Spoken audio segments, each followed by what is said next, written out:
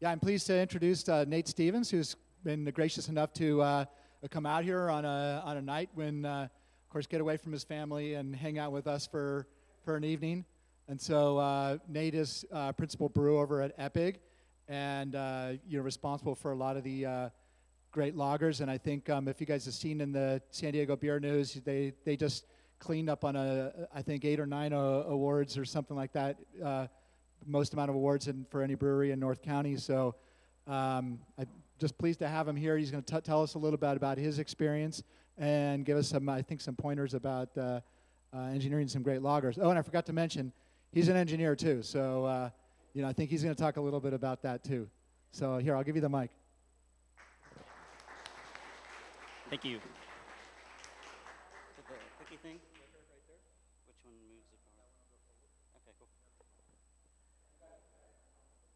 All right, cool. Hi, everyone. Um, so everyone here is an engineer. That's kind of the deal. Was, okay. No. Quite a few. Cool. Uh, uh, thanks for having me. Uh, it's always fun to come out and, and, and talk to you guys. Um, I just have a, a, slideshow that I put together. I've, I've done a little bit of instructing at the UCSD uh, program, and uh, I usually talk about like the transition from uh, home, I've, I've done talks on like homebrew to pro brewer, uh, uh, just transitioning and stuff like that. And so I have kind of a, a nice little compilation of pictures that kind of walk through maybe uh, it, just over the last 10 years. Um, so this was, I was a civil structural engineer. The company I used to work for, it's called NV5 now, uh, and they've actually gotten kind of big since I left, which is interesting. But um, the last few projects I was on, there's uh, there was a bridge replacement. You can see the super old bridge. Uh, that's Las Encinas Creek, so that's in Carlsbad, right on the coast there. Um, and then we replaced it with a prefab uh, little arch bridge that they're uh, building right there, putting it in, uh, and then it's kind of the finished product up there.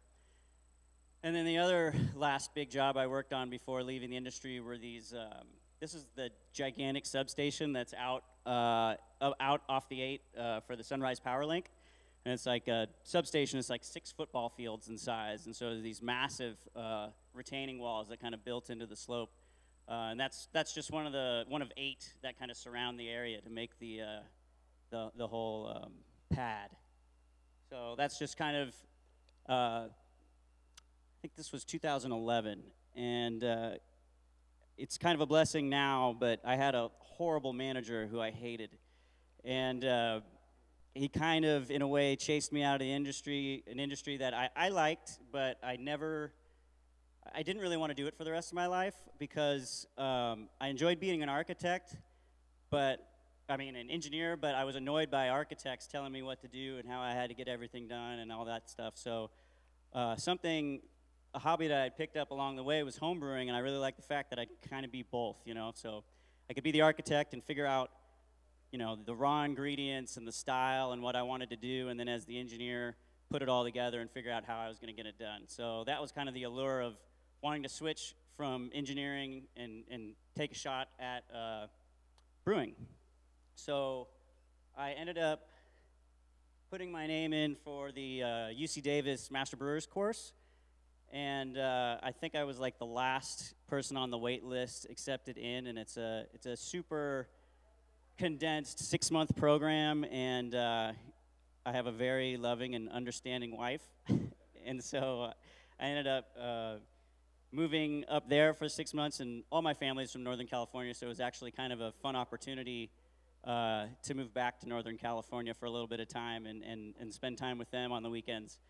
But uh, this is just kind of a mosaic of uh, kind of the first part of, of transitioning into engineering. That's a picture of me uh, working in the cellar. Uh, I started out at Ballast Point uh, in early 2012, uh, just on the bottling line, putting bottles of Sculpin into boxes for eight hours a day for $8 an hour. Um, and uh, it was a grind. It was, it, was, it was a tough job to work on. The, the bottling line is like a 19 or it was at the time like a 1967 uh, reconstituted like Dr Pepper filler, and uh, like the e-stop button didn't work on it, and it exploding glass, and it's just kind of a it was really a, a, a gauntlet, uh, and and, and uh, you, you had to learn fast. You had to be able to work with a lot of people around you, a loud environment, and it's, it's it was really one of those things where it kind of shaped me as a brewer. Just they could you could throw whatever you could at me, and and I I feel confident I could get anything done like after that point. So. I started at Ballast, uh, like I said, and then about six months in is when the program started. So I ended up talking to them and convinced them to pay for 30% of my tuition, which was kind of nice. Um, the next picture is the stack of books that you get on the first day of the program, and immediately panic set in, realizing I knew nothing about brewing, basically. Uh, but things got better. Uh, the, this picture up top over here is a picture from the old brew deck uh, from the Scripps Ranch uh, Brewery. You can see the still in the background, and then there's a canning line going, a bottling line going, and that's the old cellar, uh, cellar one. And then moved on to uh, this is the the system at Miramar.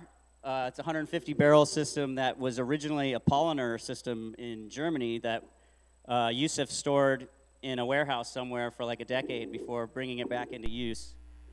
Um, in 2013, I ended up uh, getting tapped to commission and run the Little Italy uh, pilot system for Ballast. And this is a, a picture uh, from the brew deck, little cellar, 10 fermenters, three bright tanks, uh, fun little system to work on. Uh, and then, as an interesting contrast to where we were as a company at the time, is uh, this is the lauter tun they were putting into Miramar, which at the time, I'm not sure if it still is, but is the largest lauter tun on this side of the Mississippi in a craft brewery. Basically, looks like a spaceship. It's incredible. Um, this one is just a picture of uh, a beer that was called the Landlord uh, Double IPA, which eventually then turned into Manta Ray, uh, which I don't know if you guys are familiar with, but went on to win gold for W or, or for dub, Double IPA at GABF, which was pretty cool. Um, this is a picture of you probably recognize him, Ken from Sierra Nevada. Came and visited and got to show him around the brewery. That's kind of a, a dream of, of every brewer. Uh, working at Little Italy was like, it was the job that I always told people it's the job that uh, home brewers always picture brewers having, you know. Whereas the reality is, most of my coworkers are just sweating on a brew house doing eight turns of sculpin every day, whereas I'm brewing a, a different beer every single time, experimenting with raw ingredients and techniques, and it was really a cool job that kind of um, really advanced me in my brewing style in a kind of a, a shortened span than I otherwise would because it gave me so different, so many different opportunities to just try everything, try every ingredient, um, different techniques, different yeast strains, stuff like that. So it was, it was a really cool job to have. So uh, this is two of the last days there. This is my daughter, I think my last day in the brewery, coloring. And then this was kind of a fun picture, whereas this is the old Scripps crew when they were shutting Scripps down and moving to Miramar. But uh, that's me, and that's my uh, partner Clayton. And then there's basically a bunch of different now head brewers at different breweries around town up there, um, like uh, Ataraxia, PB Ale House, um, East Village Brewing, stuff like that. So it was kind of a fun crew to, to kind of grow up with in the brewing industry, and then everyone kind of uh, made their way out on their own, and, and it, it's kind of cool to just to, to see how everybody's doing. Uh, and then just also, it's just kind of a fun thing to see.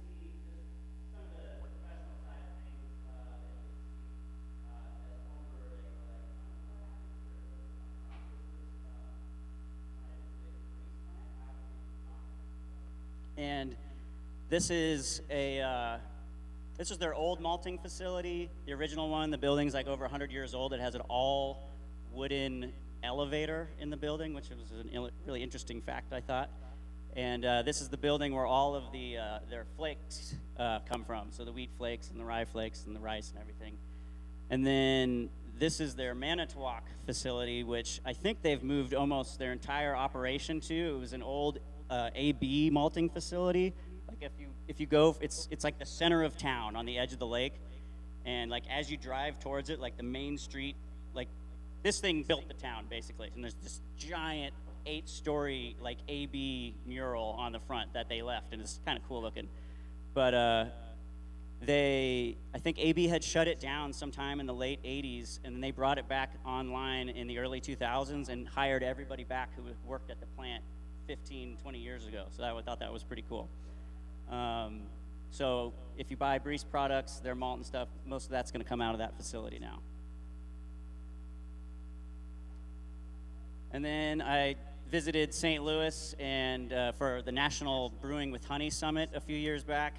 Uh, basically, where they're trying to encourage brewers to use more honey in, in brewing. And I used the opportunity to go visit, obviously, uh, the St. Louis AB plant, which, if you haven't gone, I mean, it is the evil empire, but it is a really impressive thing to go see. So, this is this is the brew house, and it's like I don't know, five, six stories tall, and it's just just floor after floor after floor of lauter tun, mash tun, kettle, whirlpool, with like these 40 foot chandeliers hanging down the middle, all Victorian and everything. Like it's it's something to see. So if you're ever out in St. Louis, it is it is worth the trip. Uh, and this was kind of cool. This is um, Euro Beer Star is kind of the big uh, competition in Europe, kind of maybe how you could say the equivalent of like GABF over here. And uh, the one of the years I went out there for Ballast, we ended up winning the most awards of any brewery in the world. Us, we tied Firestone Walker, which was pretty cool. Uh, so that's me up on the stage there, and then uh, recognize him from the Sam Adams commercials. He's couldn't be nicer. Interesting guy, but he's very much like the commercials. Um, and then up in the corner there is the famous uh, mural from Weihenstephan, which is about 40 minutes outside of Munich. Which, if you're ever in Munich, it's worth taking the little day trip out there. That uh, next to it is the cellar restaurant next door and, and fresh Vitus right off the tap, which is one of my favorite beers. And then this is the uh, Augustiner Brewery in uh, Munich Center. Feel free to fire questions at me if anything comes up, by the way. This is casual. And then this is just a quick one, just to kind of give you a, a, size and scope of you know how different uh, pro brewing can be uh, you know, across the country, and everybody does things a little bit differently. These are my friends uh, at Spangalang in Denver. Uh, it's like the old DMV that they converted into a brewery, and uh, so this is like a uh, this is their mash lauter tun, but it's like it's like a dairy vessel, which you'll see in some small breweries like that. So that's that's them vorlaufing onto the paddle there to disperse it. The kettle is just literally a kettle that you have to climb a ladder and like it plugs into the wall to turn it on. Like it is, uh, it's not the safest thing in the world, but uh, it's interesting. Uh, yeah, yeah, totally. But like I said, you can. There's there's tons of ways to skin a cat because these guys have won like multiple World Beer Cup awards, GABF awards for some of their Bel- Belgian style beers and stuff. So it's pretty cool. And then you go to the next one, which is Malt Disney World, uh, Sierra Nevada Mills River, which uh, this is my buddy Pete, one of my good friends. He was the assistant brewmaster for Sierra Nevada and ran that facility out there. So I went out and visited him. Um, this is their five vessel, all copper, 20 barrel, fully automated brew house, um, the pilot brew house, which is incredible.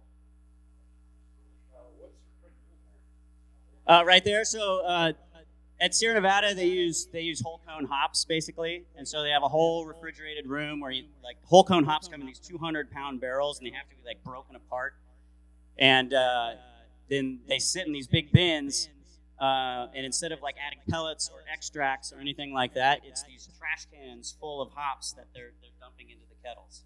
So someone comes in and they take these big bales and they break them all apart, and then someone else comes in and weighs them out and then adds them to the brews. Um, Top center is the famous uh, Sierra Nevada hop torpedoes, how they dry hop everything. Uh, that's the packaging hall, which was basically like you could have done surgery off the floor. It was so clean. Was incredible. Um, that's uh, this is the, a picture, kind of a panoramic picture of the brew house. It is truly incredible. I don't know if you guys have ever visited Chico, but go, if you're gonna do both, go to Chico first because this place, like this is Chico is Ken trying to figure it out as he goes. Mills River is I have all the money, I'm going to do it exactly how I want to. Um, and it's incredible. Uh, this is uh, pale ale right off the filter. So that was pretty cool. Uh, and then this is Pete and one of his proteges uh, in the cellar of the giant New Belgium brewery that's out um, out that way too. That's like 20 minutes away from Mills River. So that's pretty cool.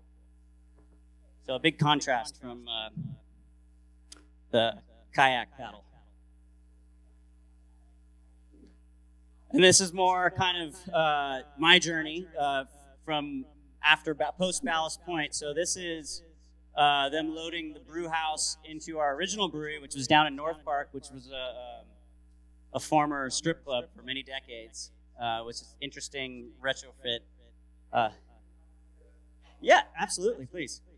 Uh, just real quick, I brought some cans of uh, our special lager, which is basically it's an international style lager, kind of based on a Japanese lager originally, but we kind of tweaked it to where we bumped up the ABV, so it's like 5.8 percent, and then we use uh, rice instead of just as to dry the beer out. We also use it uh, for flavor and aroma too. So there's actually like a nice kind of sweet, starchy sushi rice component, and there's a big Centennial Hop Whirlpool Edition, which adds like a nice uh, lemony citrus aroma as well. So, and then the other one is our Pilsner, which is kind of based on a German style Pilsner, but it's it's I mean it's not totally authentic. It's kind of the San Diego version of a German style Pilsner, where I think I did a third of a pound of dry hop of uh, Mount Hood.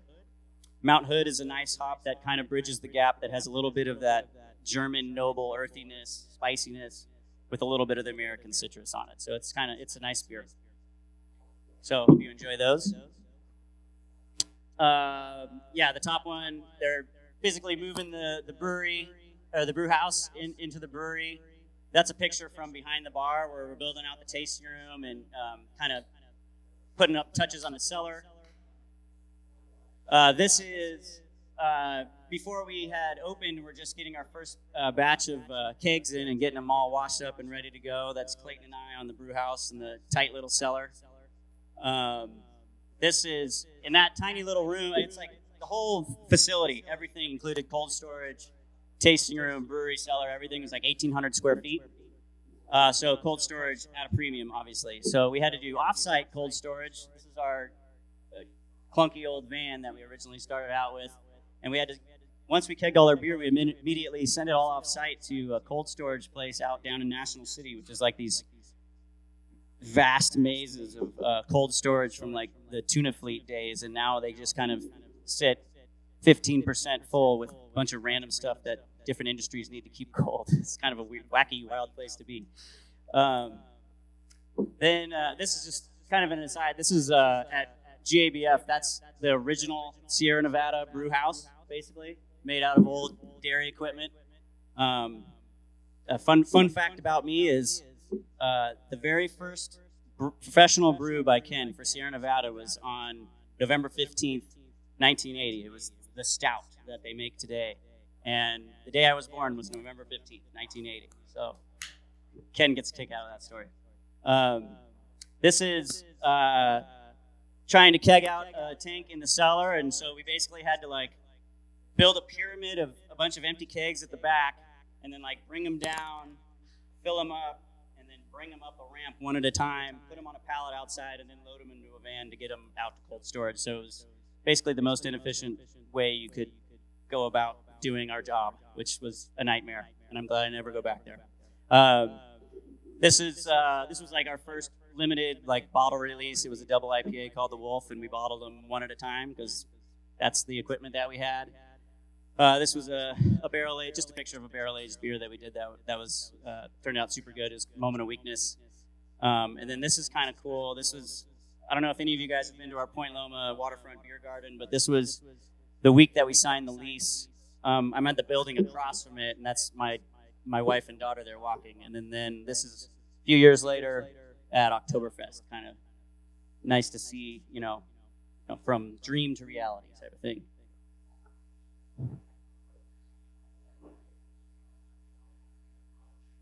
And then this is the this is the last one. This is us moving into our North County facility right down the street.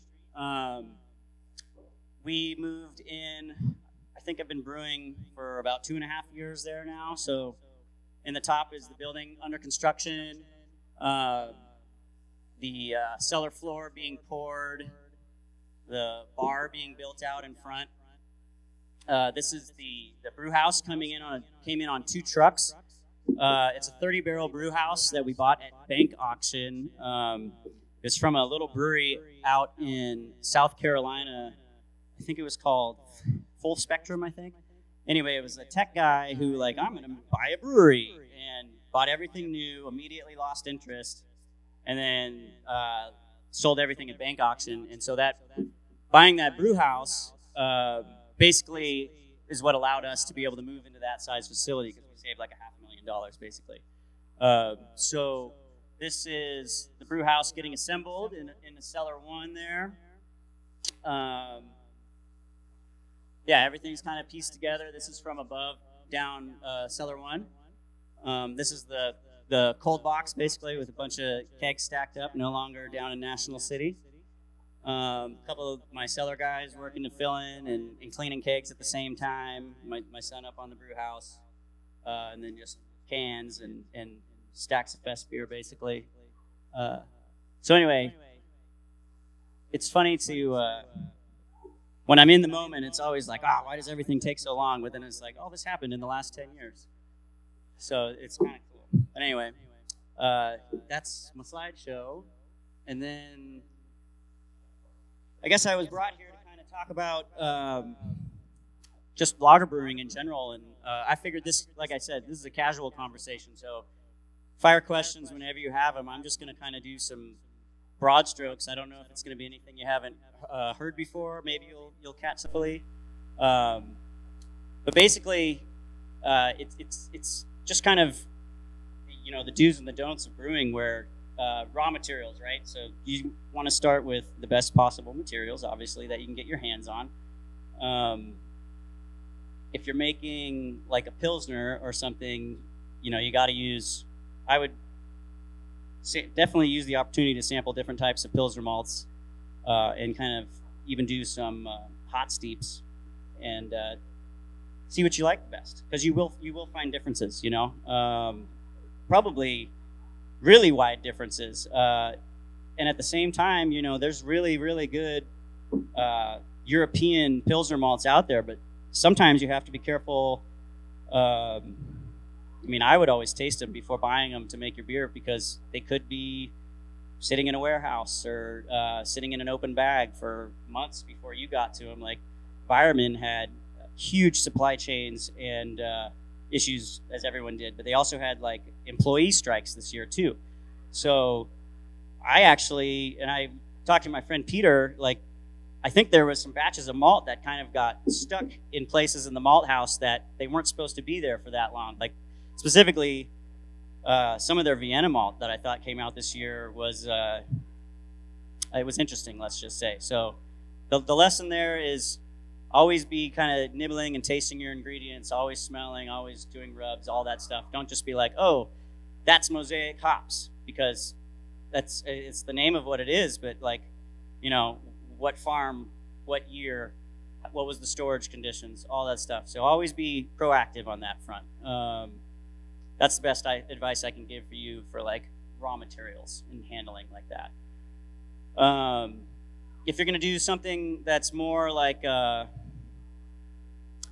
that's going to have some specialty malts in it or things like that, like say like a Schwarzbier or something like that. Uh, it's always a great idea to, um, I, well, my personal take is that it's a great idea to kind of layer your flavors and, and, and add complexity through your malt bill, um, especially in a beer that's going to be like, you know, somewhere between 4.2 and 5%. So uh, that's kind of where you're going to be able to, to, to build in some of those complexities. So like let's say for a, a Schwarzbier black lager.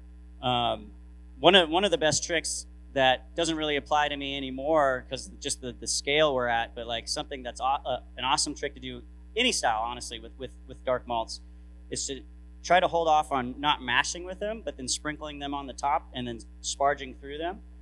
Um, that'll help reduce any amount of bit- bitterness you're going to pull from them. I also try to stay away from anything that like started off or has a husk on it too, like just black malts and, and things like that. I, I stay away from for styles like that, unless I'm. I mean, stouts are different, but like something that's delicate like a, a black lager. I really like Briess's Midnight Wheat. I like uh, the dehusk uh, Carafa special malts from Weyermann. Um, things like that are, are things that I, I, I, I like to use. Um, I also don't use a lot of straight up uh, caramel malts for things, um, but I do actually really like um, in, in, in little handfuls like the Weyermann Cara Munich and uh, the Briess uh, malts are actually really nice for that kind of thing, and it's kind of a nice in between. Um, any questions so far? It is uh, flaked rice. So uh, normally, if you're one of the big boys, uh, you would actually have like a rice cooker dedicated, like a cereal cooker for your corn or your rice or whatever. Um, whereas when you use like flakes, things like that, it's already pre-gelatinized and you can put it right into the brew. Um, I recommend that. uh, any other questions, raw material wise? Pilsner malt. Uh, for most of our beers right now, it's Weyermann Pilsner malt. But I do, I am not opposed to like, um, uh, Briess has a nice Pilsner malt. They have a really nice Vienna malt. Um, I like, um, um, what's it called? There's there's a new uh, uh, kind of craft malting in the U.S. is getting bigger and bigger. The problem is right now. I mean, I would be going crazy with all these malts if I still had like a, a five barrel pilot brew house or something. But I'm a production brewer now. Everything is in 30 barrel batches minimum. Um, so I don't do a ton of experimenting, which is you know sad for the moment. But eventually the plan is to get a new uh, uh, pilot system out there. But like Skagit is a, a new little craft maltster, and they have a really nice Pilsner malt uh, that I a friend of mine used recently, and I was impressed with. Real light, real clean.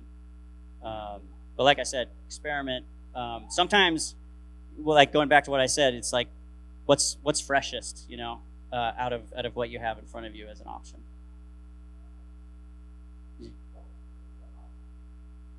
So it's, I think, um, I usually hot side we generally only do a 60 minute and a whirlpool edition.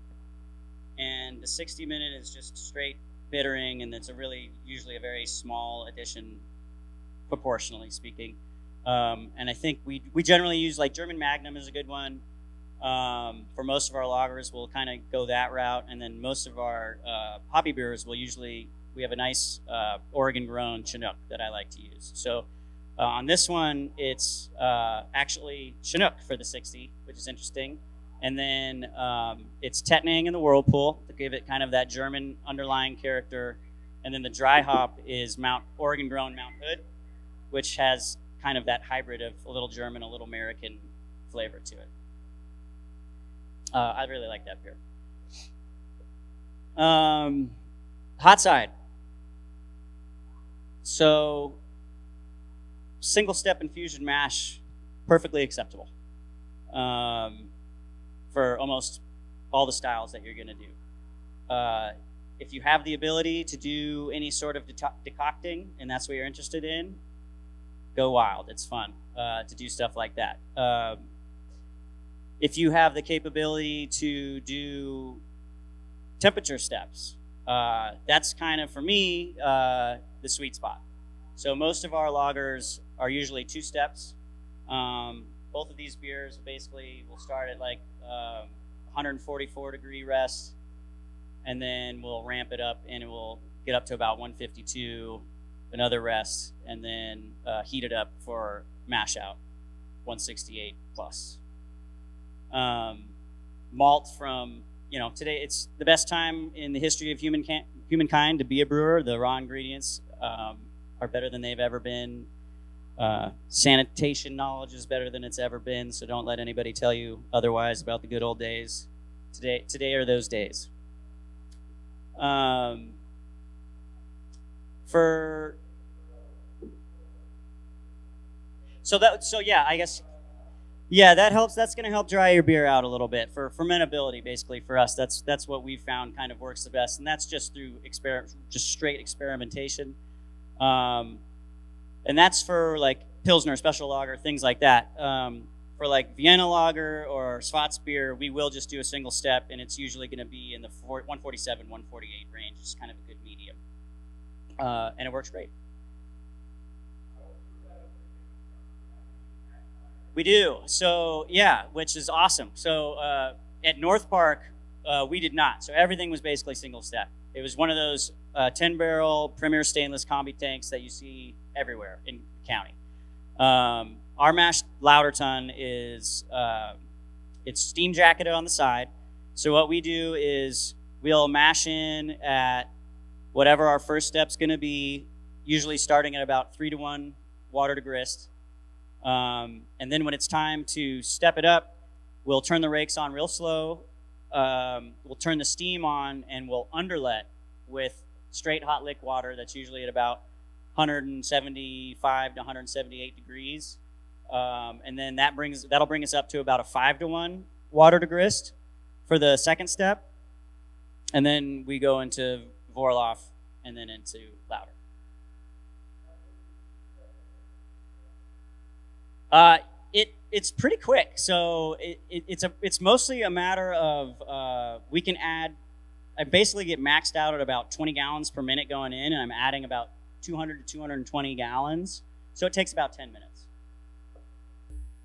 We literally had just signed on with our new distributor, Scout, and that was right when that changeover was happening for the crop year. And so all of a sudden, uh, like basically on a production side, you you have your your target starting gravity, and basically you want it to be coming out of the brew house. You want it a little bit higher than that, so you can add back just a touch of water and hit your target every single time.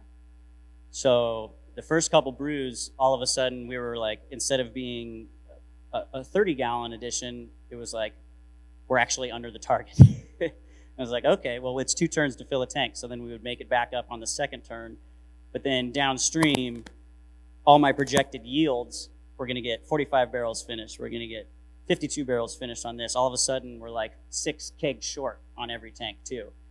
And so that was all. That was very fun to all of a sudden have to redo every recipe and ramp everything back up. So now it's not only is the malt more expensive and the shipping's more, but you get less bang for your buck. Great. um, so that's kind of where we're at. So fingers crossed for a better year next year. And that's globally, every, across the board. You'll find you'll find some uh, malt batches that I'm sure are fine, but just due to a lot of climate issue, related issues and things like that, just the grains, um, you know, a lot of them it's just not as plump as they normally would be, which was also an interesting thing.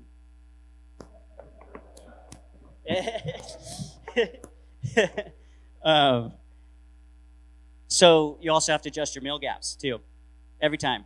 Uh, we we check the mill gaps too. We got burned. We got burned um, one time specifically just because I was like, you should should always check. Just you should. And we got in a little bit of a like we got all these things get done today. Just go. And we ended up brewing with a different base malt than we normally do. And I have a little tiny sight glass on my mash tun on the side, and I just we'd finished mashing in. And I looked at it, and there's just whole kernels everywhere. And I was like, oh fuck. And so, uh, and that was on a stout. And so basically, that's kind of the worst possible scenario. So your efficiency goes way down. You have all of these specialty malts and roasted malts. And so all of that sugar that you were expecting to create is way less. So now all of a sudden, all of your roasted character is basically double what you were calculating it to be because you're going to have a less of a runoff uh, on the back end, right? And so it was that was an interesting. It was a good learning moment because we got it um, basically salvageable because this was during kind of peak pandemic. So I was able to keep it in the fermenter for like an extra three weeks at like 30 degrees, which if you have that capability will actually take some of that astringency out of a beer because it'll, it'll basically drop out to the bottom. You can keep ejecting it out and it will, and it will basically kind of round its flavor out with maturation. Um, but if I had, if I was on a production schedule, a normal one, that beer would have been down the drain. just it is what it is. So lessons learned. Any other questions from the hot side? Uh, always, I always recommend using some sort of Whirlfloc and, and yeast nutrient as well. Uh, those are definitely um, key for production brewing, especially if you're going to be repitching your yeast multiple generations, keeping that yeast health up. Um, and then in the transition between hot side to cold side, kind of the, the number one thing I always tell home brewers is um, wort aeration is totally overlooked most of the time.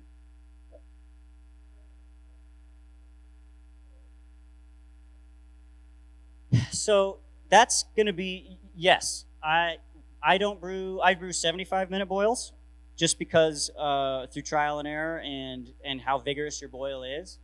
But if you're at like a simmer, 90 minutes, 90 minutes all the way, baby. Um, and if you go any more than that, especially if you're trying to do a light beer, then you're gonna you're gonna start developing color as well. So it's kind of that balancing act. It's just what you're comfortable with. Um, good question. Mm-hmm.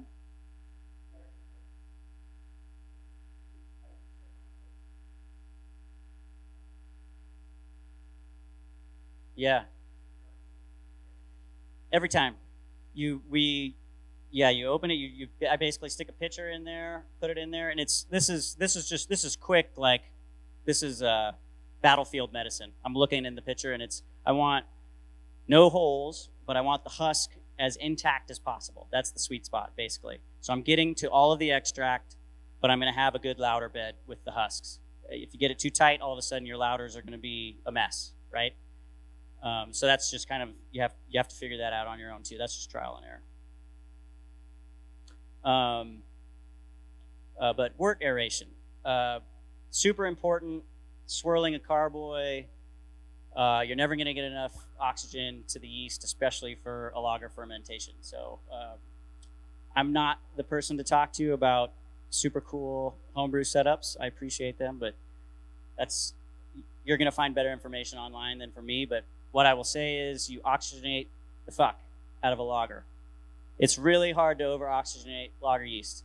Um, you absolutely can with an ale fermentation, but just all the metabolic processes in a lager fermentation that's properly temperature controlled are happening so much slower that you're never going to get that problem. So basically, like oxygenating pitching yeast on a lager, it, you need to do it at pitching temperature, at fermentation temperature, at cold. You like I think some of the old articles and books used to say uh, pitch warm, then chill it. Don't do that because what happens is in that first 24 hours, acetaldehyde gets created, and you're gonna have a really hard time getting it back underneath the sensory threshold.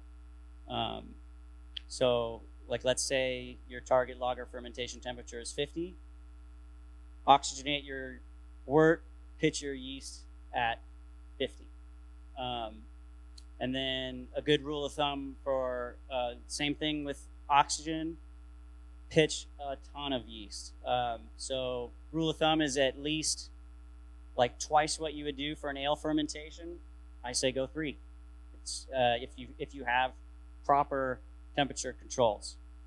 Um, and now, you know that's also going to be trial and error with with different lager strains. You're going to have different results. Like some are just won't create any esters or any sulfur. Some will be total sulfur bombs some will be right in the middle. Um, some will attenuate really nice and dry. Other times, the other ones are going to be like leave, you know, a pretty strong uh, malt character at the back end. So that's also experimentation. Um, just from a, yeah. No, no, it's all good. Mm-hmm.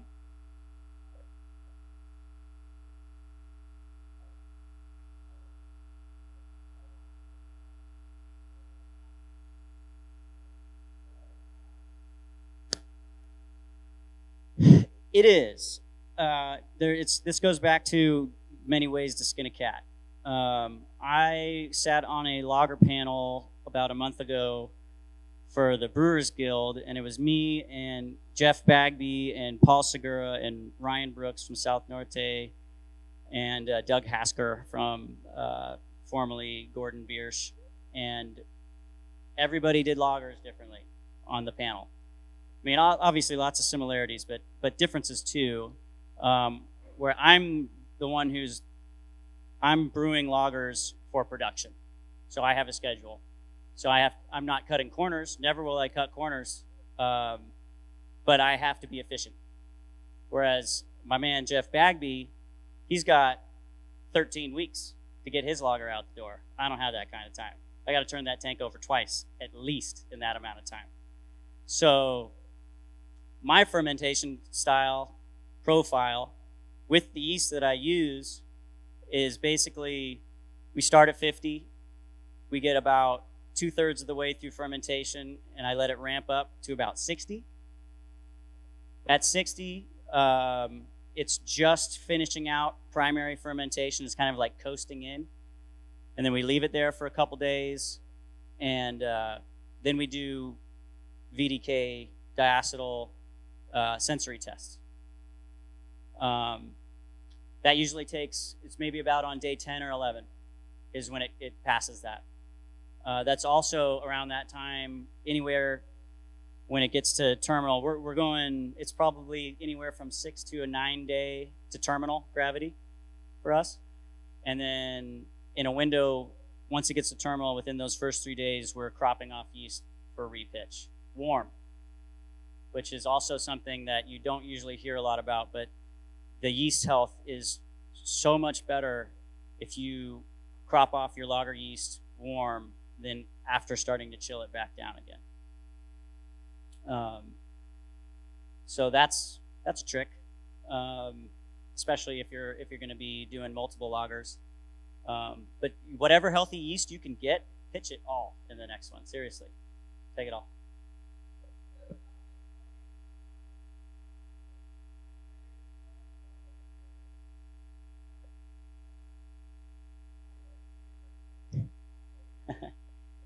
Sure.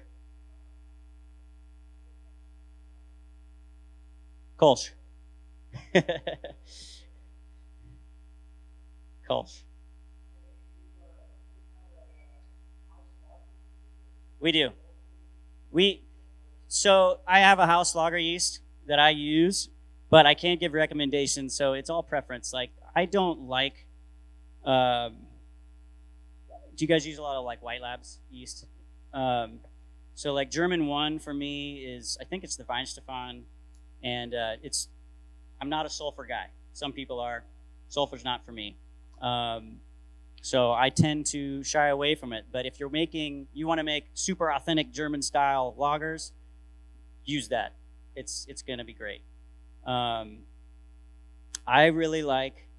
I can't remember all of their numbers, but there's like the Mexican lager strain is a really nice clean fermenter, and it's also pretty forgiving in that regard.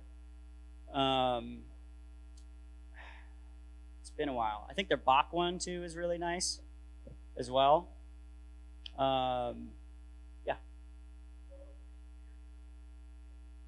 They were. They were. Yeah.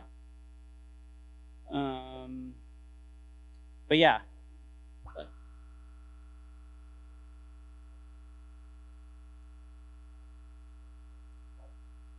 Say that again. Copper. Oh, for sulfur.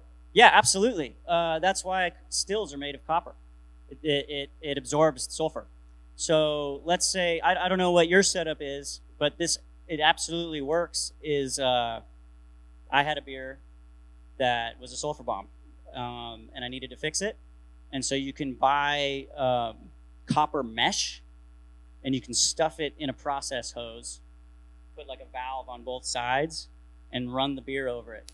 And your transfer, sulfur's gone.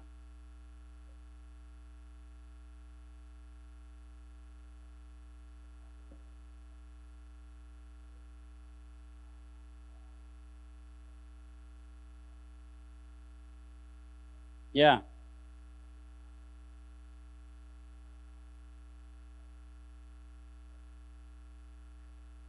Sure. Yeah, yeah, yeah. It does work. So it's not an old wives' tale. It, absolutely works. Um, the very first uh, batch of spirits ever made at Ballast Point was like a old fermenter they turned into a still, all stainless, and so it's just farty as hell when it was done. And it was like, oh, we need copper in the thing, and so they had to redo it, and then it was fine after that. So yes, copper does work.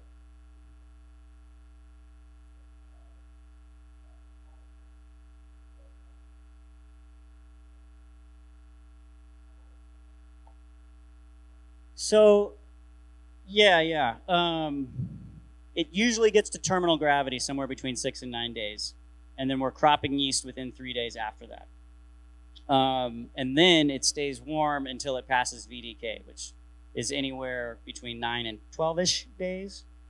Um, and then, then after that, we're step chilling it very gradually down. Um, basically, we're doing about five degrees every 24 hours and then we usually do a stand for 72 hours, somewhere between 45 degrees and 40 degrees, and that's kind of our lagering period there. There's still a little bit of metabolic activity. Um, it's it's cleaning up all those really green kind of green beer flavors and aromas. Um, then it's down to 32. We apply head pressure to it. Um, stand there for a few days uh, clarify it, biofine clear. We'll use just a touch, but we, we sheet filter our lagers. Just very coarse, just to get the, the yeast out. Um, it's it, like, I mean, if, if, if, you're familiar with sheet filters, whether we're using like, like five to seven microns, which is very coarse, but it gets, it gets the yeast cells out and it gives a nice brightness to it, makes it sparkle. It helps with uh, stability too on the shelf as well. Uh, so brew day to uh, package, uh, depending on the, my fastest lager is probably about 28 days. If we're doing, um, we have we do a Zwickel beer sometimes, which is like a really cool dry hop young lager that has yeast entrained in it. I can get that done in like 23 days. Um, and we store those kegs upside down. So if there's any settlement of the yeast, turn them over, tap them, falls back through. Works pretty good.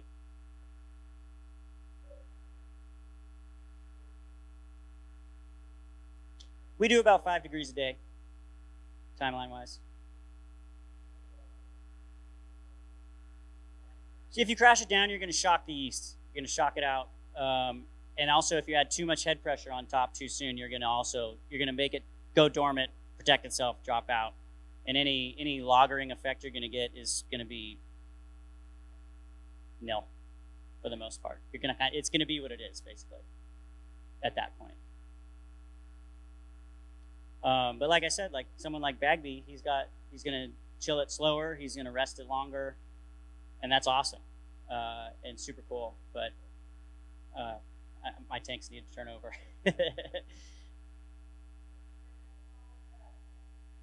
With what? I have not. But I was sitting next to the guy who won three World Beer Cup awards a couple weeks ago, all for that. And I was, I was like, I should talk to this guy if I'm ever interested. Um, so some people have figured it out. Um, but yeah, no, we're. I live in the realm. My my brewing style is, I'll take German ingredients, on an English style brew, ho- brew house and make American craft beer.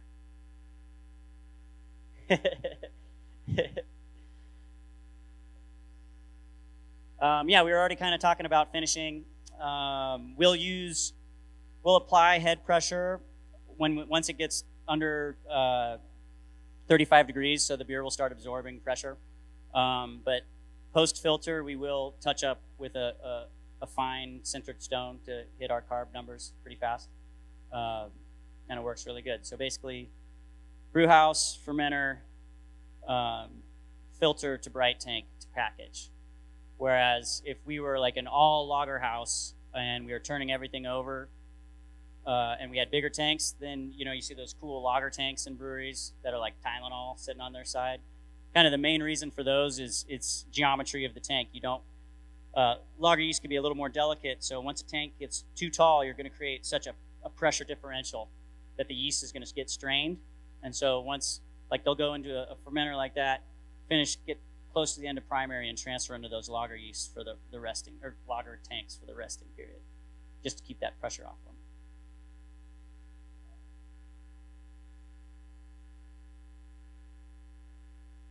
No, no. We do, yeah, no. Our lagers, let's see. I will say this, if I'll back up a little bit. Um, our target knockout pHs, depending, like on a beer like this, is usually about 5.1 to 5.2. Um, and that seems to make the yeast pretty happy.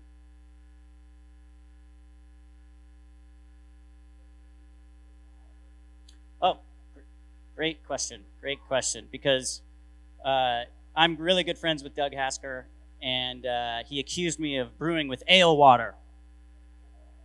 Uh, but uh, I uh, so I brew with Vista City water that's been carbon filtered, and we touch it up depending on the style with uh, Terra Alba or calcium chloride um, for roundness, Terra Alba for like the hop sharpness, um, dryness, and and then we'll I'll use food grade lactic acid in the mash to adjust pH. We usually target about 5.35. Um, calcium sulfate.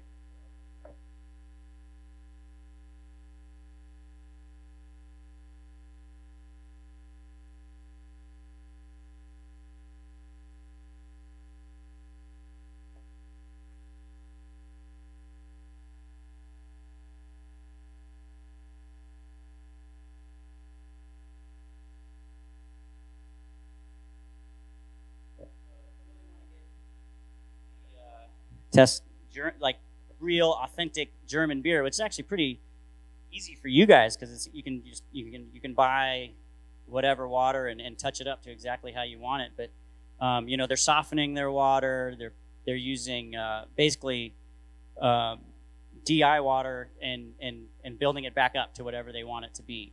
But you know we live in a desert. My little hippy dippy instincts. I'm from Santa Cruz originally. Is takes water to make water. Uh, it really does. So uh, I feel like I can brew the types of beers I want to brew with the water that I have.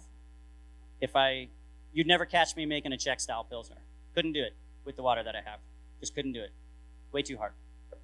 Um, so you kind of have to um, work with what you got, I guess you could say. Like when I was a home brewer back in the day, and I lived on a third floor apartment with a tarred flat roof, and it was 110 degrees in the summertime, I brewed saisons. You know, hmm. that's that's what it was. so it's kind of like understanding your place and, and what you have to work with and doing the best you have with it. Any other questions of any general variety?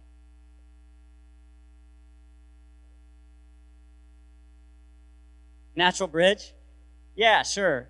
Uh, it means a few different things. Uh, one being uh, if the history of Eppig, one of my partners, Stephanie Eppig, is the great, great, great granddaughter of Leonard Eppig, who emigrated from Bavaria and opened a brewery in Brooklyn in the 1860s. And so uh, we're brewing basically like you have Natural Bridge being old world to new world, Natural Bridge history to the present, and then you have, you know, Brooklyn with an iconic bridge, San Diego with an iconic bridge, and then the one that I don't talk about very much, but I was a bridge engineer. So that's how I kind of sneak that in there too. Yeah, so that it kind of means a few different things. So time and space, geographical, all that stuff.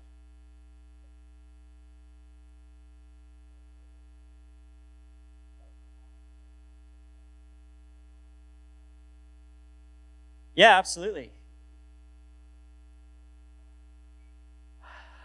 Uh, I don't drink as many IPAs as I used to, you could say. I pride myself in being able to, I think we produce across the board stylistically really beers that I'm proud of all the way across. Um, I like that we have a nice range of categorically BJCP two style beers and also beers where we like to take pick and choose from a few different styles and kind of come up with something new, like not too far off the beaten path, but like a little bit of this, a little bit of that, make something new. Um, so for me, like when I'm when I'm done and I'm at the tasting room or something, I'm it's usually going to be like a Kolsch or a lager or something like that. Something I can have a couple of. I do like IPAs still though, and I mean like I love like we have we do a hoppy pils. That's uh, it's like a pound per barrel dry hop of Mosaic and Centennial, and I mean that that satisfies any itch that needs to be scratched for hops for me. So, did you have a question? Yeah.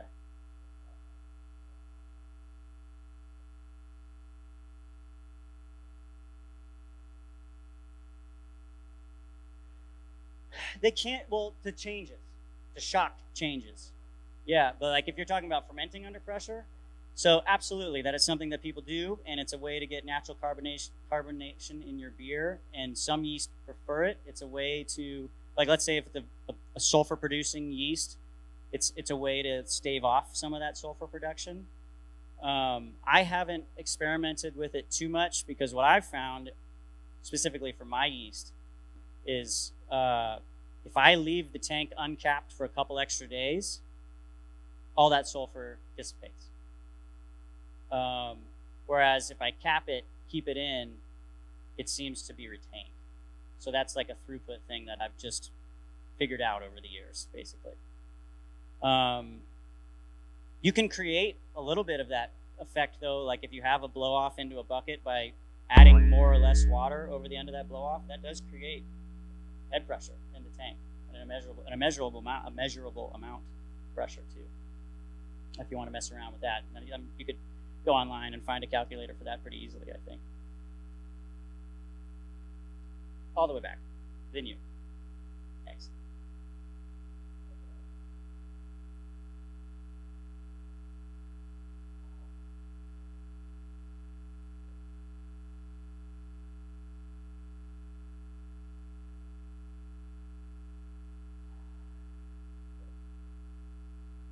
Because I was the best brewer ever.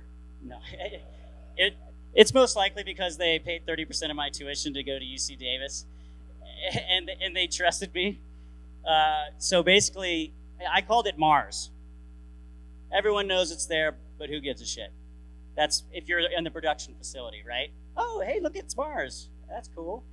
Um, and then they, when they show up, but for me, like, so they needed to be able to just forget about it and not like I could just like not show up for a week Whereas in production brewing, there's a whole segment of employees that are kind of like that. Um, but you needed someone who could be there and you could count on to come up with a recipe, execute a recipe, show up on time, get everything done. I mean, it's 13 tanks, and I ended up getting a second brewer eventually, but for the first year and a half, it was just me brewing four days a week into 13 tanks. Um, so that's probably the main reason, would be my guess because the people at the time, if I'm thinking about who I would who I'd have been up against, you know, it's like if I'm on uh, just a very quick aside, like if you're doing a, a Sculpin filter, it took about eight hours, and I would go to work at eight in the morning, and I would leave in the afternoon. I would hand it off to the night guy, and I'd say we're three hours ahead of schedule. See you in the morning, and I'd come in, and he'd be like, "We're four hours behind." It's like I haven't even been gone that long, and that happened all the time. So that was probably a big part of it too. Just, you know, being reliable is a huge part of professional brewing too. I need to be able to, as my team. So, you know, these the last these last two and a half years, the hardest years of my life. We built a brand new, super expensive brewery, commissioned it, and then the shutdown happened. Um, and so it's basically like working in this giant mausoleum by yourself or with one other guy for years. And uh, it went on and on. And now all of a sudden, you know, since about March, things have picked up again. People are out again. I mean, we have multiple capital projects going on. Like we just commissioned four new tanks, new canning lines coming next week. Just hired two more guys, and it sounds like a brewery should sound. It should be noisy. There should be people, you know, yelling at each other to, "Hey, watch out for that," or "I need to get this done," and, and it sounds like that again, and it makes you feel good. You know, like we're kind of back. So it's nice. That was a tangent.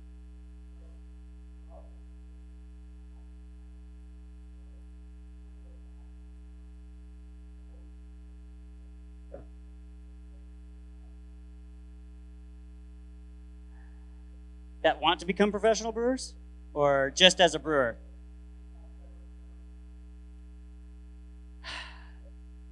It's so cliche, but sanitation is so key.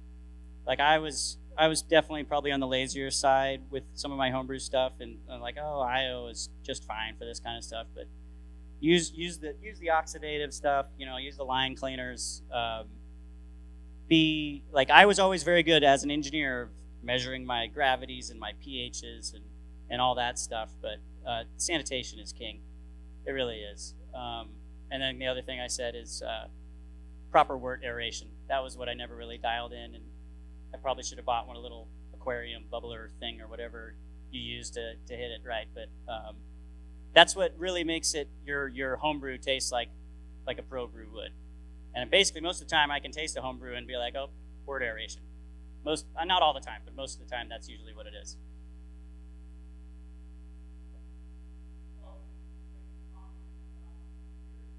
Mm.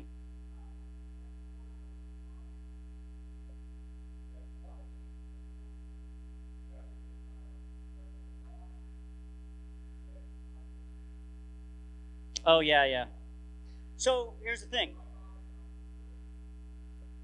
It, it creates yeah, yeah. That's and so that's kind of the German ingredients English brew house, American craft beer thing. Like I'm I'm not sitting here in front of you saying we make authentic German style beers across the board.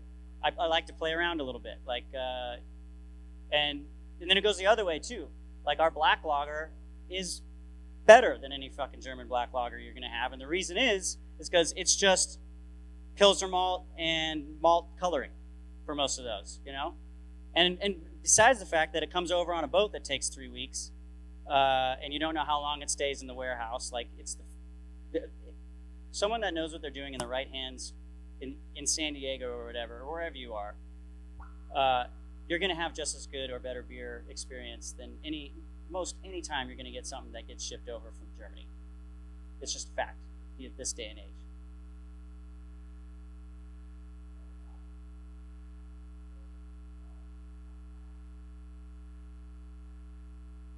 About three days, three, yeah, three, four days.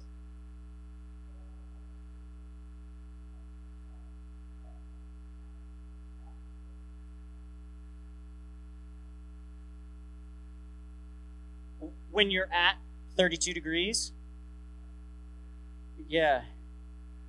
Honestly, it's going to be one of those things you're kind of going to just have to be doing sensory on. You'll know. You'll know when it's done, because it's going to taste different on day one than it is on day eight. And when you get to that day and you're like, "That's what I wanted it to be like," because it, it's going to keep conditioning. It'll get round, but at a certain point, depending on uh, your cellaring practices, like maybe you accidentally got some oxygen entrained in your wort. Well, now it's oxidizing. You know, so it's a give and take maybe your fermenter or whatever wasn't absolutely sanitized beforehand. So now it's something else is growing, you know? So it's, it's all give and take. It's, it's where you want it to be. Are you happy with it? All right, let's package it. No. I mean, what I'm saying is if you're tasting it and you have it held at 40 degrees and you like what it is, like I would say go like crash it to 32, give it a few days there too, and then see where you're at, and then start tasting it and see if that's enough. Yeah.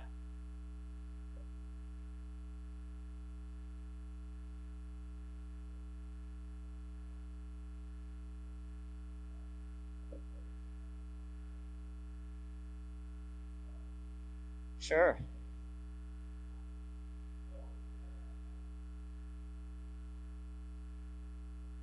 Yeah, yeah. Well, thank you for noticing. Uh, smoked beers are kind of my jam. Uh, I don't like the peaty gasoline fire smoke bombs. I like a little subtlety and nuance. Um, so it's it takes a delicate hand in that regard. Um, to like the, the Weyermann Beechwood smoked malt is probably the most available and most widely known. It's kind of has that more of like bacony, hot doggy almost flavor and aroma to it, which is It's great in uh, certain percentages, but I've had a ton of success with the Weyermann oak smoked wheat malt. It is way subtler, super mild. Uh, like you you could use 50% of it in your grist, and it wouldn't smoke you out of the house. You know, um, and it's it just such a it's such a nice little trick in your bag to kind of add depth and character to a beer. Like uh, I mean, we we behind uh, behind closed doors, like the smoke beers, or the series is called One for Us. uh, because we're not going to sell them in production at all. Those are just going to go through the tasting rooms. Um, so like the smoked Kolsch was just a little bit of oak, smoked wheat malt, but then the smoked alt beer had a little bit of beechwood and the oak, just a little bit more punchy. And then our Vienna lager, which we've actually won a couple of GABF medals with for session beer, has like 5% smoked malt in it. And that is just because in a 4.5% beer, it's such a nice little secret weapon to add depth of flavor. Whereas, like, if I didn't tell you and you like and you're just drinking having a beer with friends or whatever you might not even notice it was there but like the second i'm like oh there's a little bit of smoked malt in there you'd be like oh yeah it's right there. So.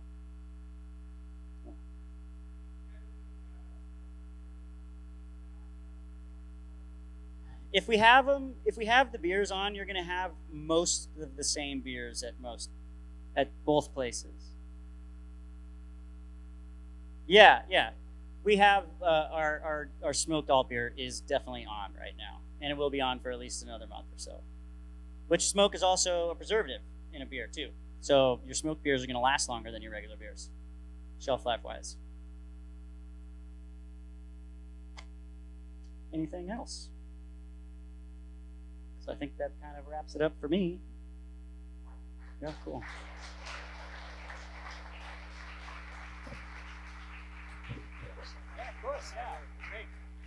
Yeah, great to have Nate out here.